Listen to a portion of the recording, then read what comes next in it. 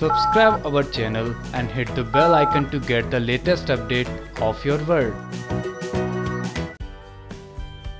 Star Plus के show ये रिश्ते हैं प्यार के में जहाँ बीर मिष्टी दोनों को ये अब कहीं ना कहीं एक दूसरे से प्यार होता दिख रहा है। अब वही मिष्टी और अबीर दोनों ही छुप छुप कर रोमांस भी करते दिखेंगे, क्योंकि मिष्टी और अबीर कर देंगे एक दूसरे को प्रपोज। जहाँ छुप छुप कर शुरू होगा अबीर का रोमांस। जी हाँ अबीर और मिष्टी छुप छुप कर मिलते रहेंगे और प्यार भरे पल को बिताएँगे। जहाँ अबीर एक मौका नहीं छोड़ेगा अपने मिष्टी के लिए हर पल को खास बनाने के लिए। इसी साथ अब देखना होगा कि इस बार मिष्टी अबीर साथ में भी कसम खा लेंगे कि दोनों कभी भी एक दूसरे का साथ नहीं छोड़ेंगे।